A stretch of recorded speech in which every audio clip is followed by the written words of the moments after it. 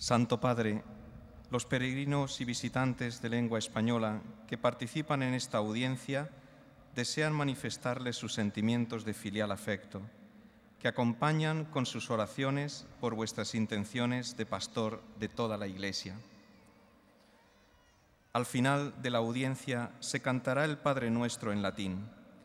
Después, el Santo Padre impartirá a todos los presentes la bendición apostólica, que extiende complacido a sus familiares, especialmente a los niños, a los enfermos y a cuantos sufren.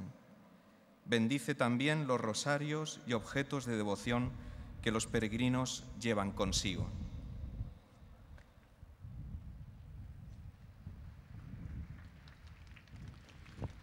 Queridos hermanos y hermanas, en el credo, tras la profesión de fe en el Espíritu Santo, decimos, creo en la Iglesia que es una, santa, católica y apostólica. Ambas cosas van juntas, pues el Espíritu Santo es quien da vida a la Iglesia y guía sus pasos. Sin Él, la Iglesia no podría cumplir su misión de ir y hacer discípulos de todas las naciones. Esta misión no es sólo de algunos, sino la mía, la tuya, la nuestra.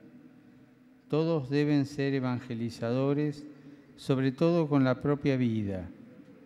Para ello es necesario abrirse sin temor a la acción del Espíritu Santo. En Pentecostés el Espíritu Santo hizo salir de sí mismo a los apóstoles y los transformó en anunciadores de las grandezas de Dios que cada uno entendía con su propia lengua. Así la confusión de las lenguas, como en Babel, queda superada porque ahora reina la apertura a Dios y a los demás.